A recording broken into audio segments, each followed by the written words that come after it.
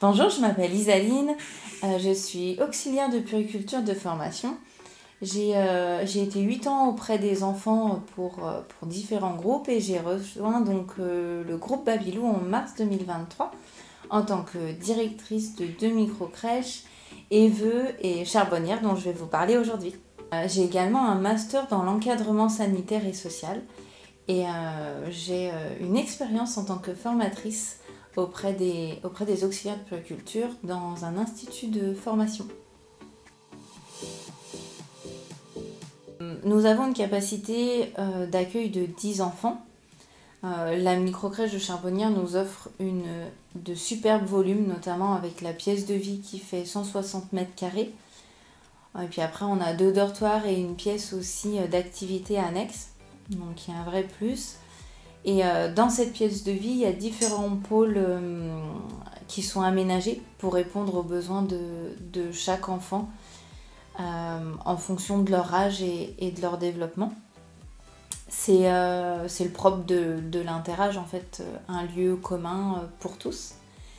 Et puis nous avons également un extérieur qui fait une cinquantaine de mètres carrés avec un sol souple et adapté à, tout âge des enfants. Les projets phares de, la micro-crèche sont tout d'abord la motricité libre, afin que l'enfant puisse euh, bah, apprendre par lui-même. Euh, les gestes associés à la parole, ce qui permet à l'enfant de se sentir acteur et compris par l'adulte euh, le plus tôt possible. Et puis l'autonomie, afin de l'aider à, faire seul et de favoriser la confiance en lui. Euh, comme par exemple l'échange de boue ou le système de, de que nous allons mettre en place pour, euh, les repas.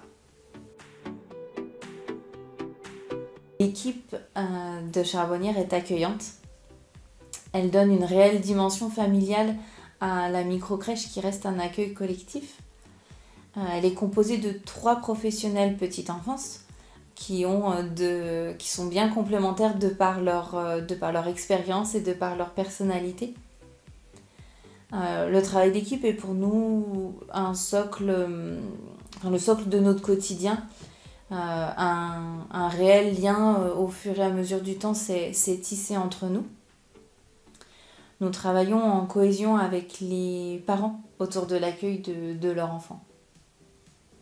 La responsable secteur, le référent accueil, santé et inclusif et également le psychologue interviennent euh, auprès de l'équipe pour des, temps d'échange euh, autour des enfants.